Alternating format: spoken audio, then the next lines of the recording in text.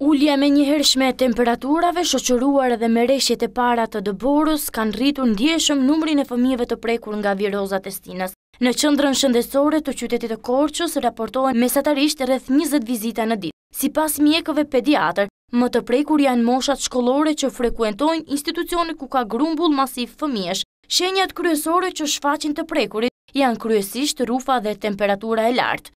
Kalimi i kohës nga temperatura më të rritura në temperaturat më të ulëta kanë ndikuar negativisht në shëndetin e gjithë popullatës dhe kryesisht të moshës pediatrike. Shenjat fillojnë me rrufë, me rritje të temperaturës, me teshtitje, me kollë, dhimbje fyti. Mjekët në qytetin e Korçës shprehin shqetësimin se pjesa më e madhe e fëmijëve paraqiten me komplikacione të gripit, kjo pasi prindërit nuk i drejtohen qendrave shëndetësore apo pediatrisë që pas shfaqjes së shenjave të para, por i kurojnë në kushte shtëpiake. Një shqetësim tjetër sipas pediatres Teuta Mullxhi është edhe fakti se shumë prindër nuk i bëjnë fëmijët e tyre vaksinën antigrip, por iu drejtohen farmacive për të blerë antibiotikë.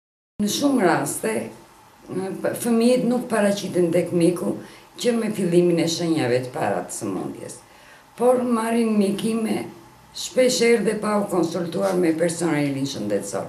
Kjo ndikon negativisht në shëndetin e fëmijëve. Çdo shenjë e parë e alterimit të gjendjes së fëmijës Nëna duhet të shqetësohet dhe të paraqitet tek mjeku. Për sëmundjet virale është mirë që paraprakisht të kishin aplikuar vaksinën e gripit. Shtim të rasteve me virozat e stinës janë regjistruar edhe në pediatrinë e Spitalit Rajonal të qytetit të Korçës. Sipas shefit të pediatrisë, Luan Belortaj, pas kryerjes së vizitës fëmijët kanë marrë mjekimin në shtëpi.